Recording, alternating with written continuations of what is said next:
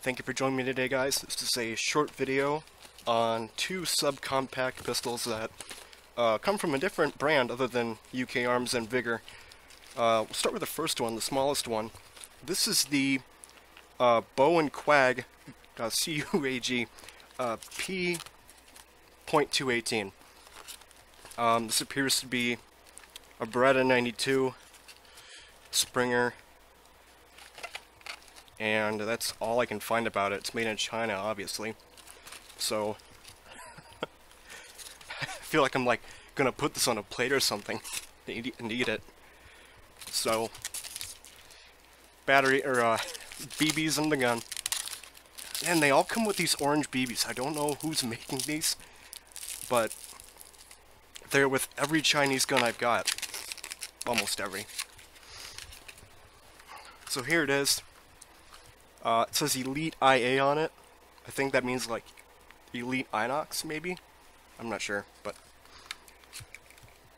it's got a magazine, obviously. That magazine doesn't stand. It sounds like it's not really firing at all, like there's just zero compression whatsoever. BBs from HFC here that I'm going to load up, and then we're going to do a FPS test, obviously and see if my suspicion is correct or not. There we go.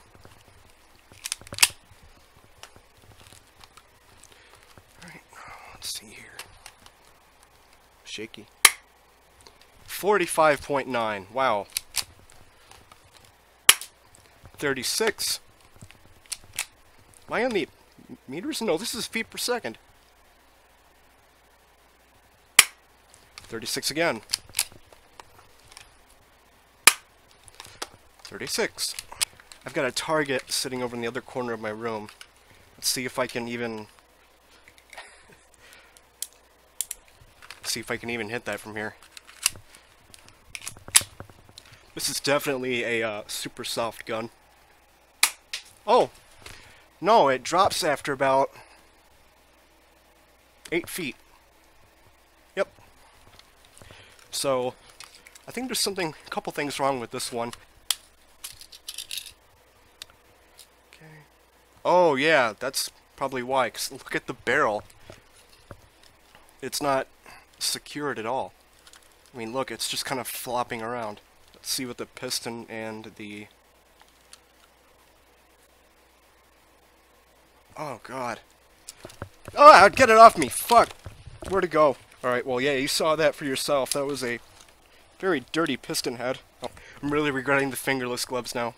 This is what happens when a Chinese company tries to bootleg another Chinese company. This this is like something that somebody made in like their backyard, like an Etsy business or something. Alright, now we have the uh, AK-887. This is from... You know what, there isn't even a brand here.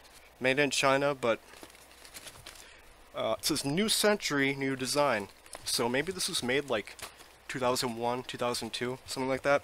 We have the uh, Desert Hunter BBs, and these are just, uh, surprisingly they're yellow this time. Some yellow BBs, and then we have that nice little cardboard box. Which, oh, this this is the one that can't hold a magazine in. Kang Nam model, made in China. Kang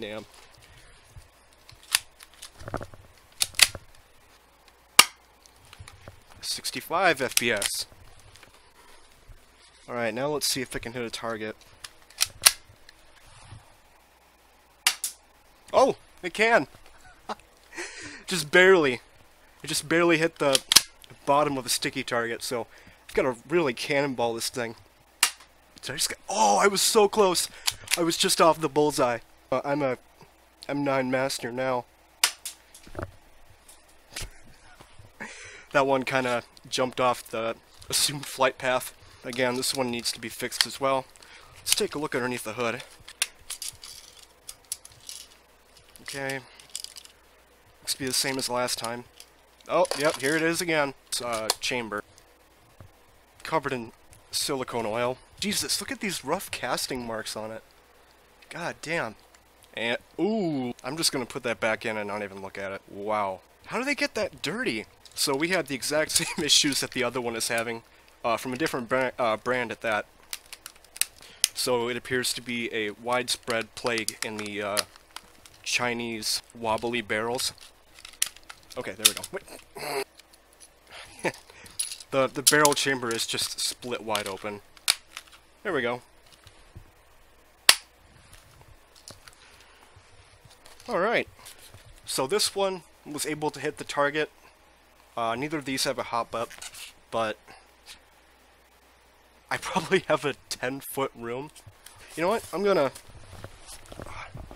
Alright, I'm gonna shoot at the blanket from the other side of the room. I'm right behind you guys. Alright, I'm aiming straight.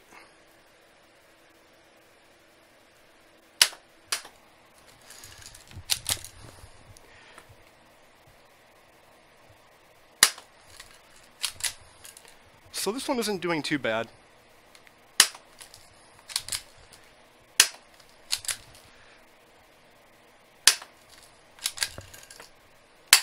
I want to know what's going on inside this one all of a sudden. I don't think that was rattling earlier, was it?